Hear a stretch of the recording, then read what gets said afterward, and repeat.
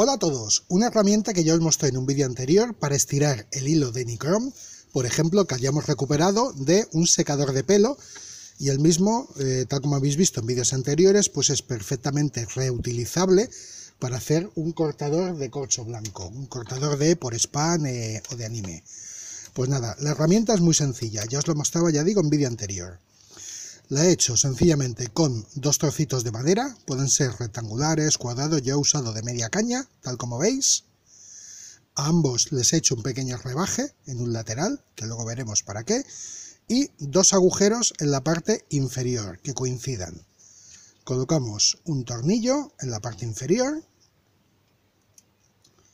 Para que la herramienta cierre tenemos dos opciones, y es colocarle unas juntas tóricas, por ejemplo, unas juntas de las utilizadas en fontanería, que sean del diámetro de la madera, de esta forma, con una no queda cerrado del todo, pero si colocamos dos, pues tiende a cerrar con mayor facilidad, tal como veis.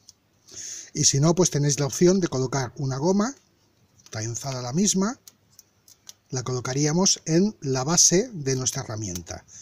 Y la misma es muy sencilla. Bueno, queda el tema del rebaje. El tema del rebaje es sencillamente para que con los dedos, con facilidad, tengamos un punto de apoyo donde poder manejar la herramienta, tal como veis. Pues nada, el tema es tan sencillo como estirar un trocito de hilo de nicrom,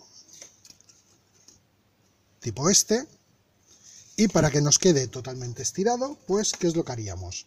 Sujetamos un extremo con unos alicates y el otro con nuestra herramienta, la insertamos, apretamos y vamos estirando el hilo completamente. Nos queda totalmente recto, no sufre y perfecto para utilizar nuestro cortador de por span de corcho blanco.